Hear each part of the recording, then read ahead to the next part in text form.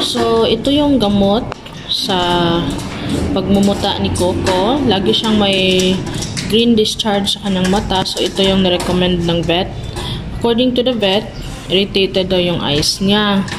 So, kailangan ito ng drops, irritated and dry eyes. So, ito yung uh, gamot para sa kanyang mata.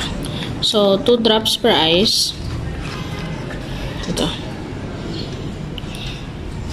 So, umpisahan na natin lagyan ng drops ko ng mata. Coco, come here. Come here, baby. Drops ka ha. Come. Come, come, come. Ito po yung nangyayari sa eyes ni Coco. Parang may discharge na green na muta. So yan, it means pag green talaga, it's like bacterial infection or na-irritate yung mata niya. So, ito po yung ginagamot namin sa kanya. 2 drops per day lang. So, ibig sabihin, baka nag-dry eyes daw siya. Yun yung sabi ng vet. Ganito po. So, yan. Good girl, Coco. You're very good girl. So, 2 drops per eye. Para hopefully, hindi na po siya magkaroon ng discharge na mukha. Na green.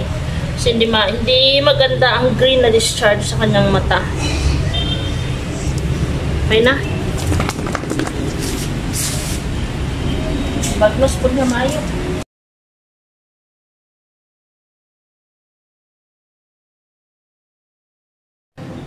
O, oh, yung eyes na is medyo red. Yan.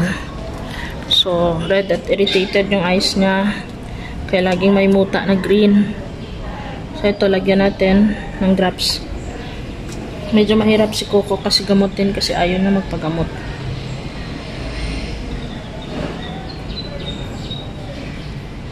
Mm. Good girl. Tapos na. Yehey! Good girl yung Coco namin. Very good girl.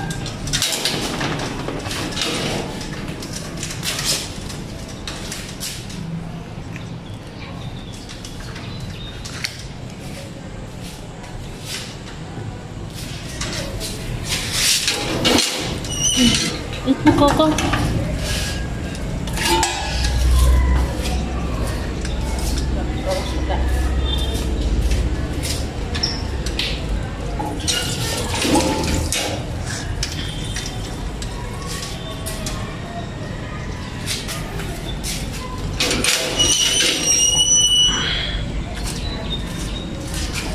Drink your water.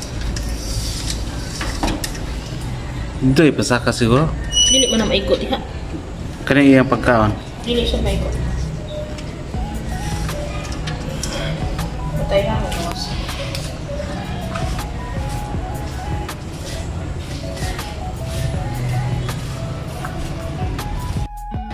Uh, para sa food naman ni Coco, yung ginawa namin is rice at saka boiled chicken liver. Yung boiled chicken liver is walang salt, like pure boiled lang siya.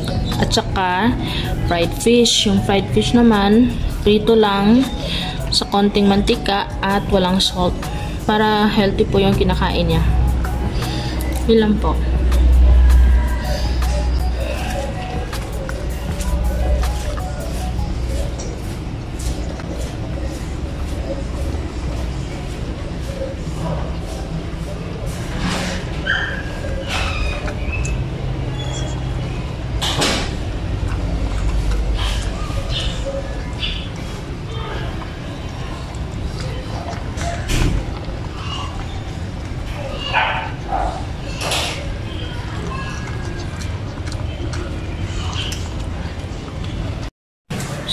So, itong gamot niya is very effective and recommended po ito sa kanyang vet kasi pina-check din po namin yung eyes niya.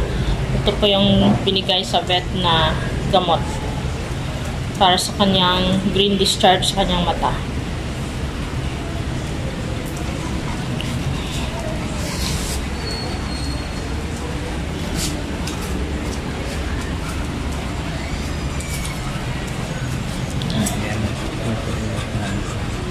So, that's all for this video. Maraming salamat. See you next video po.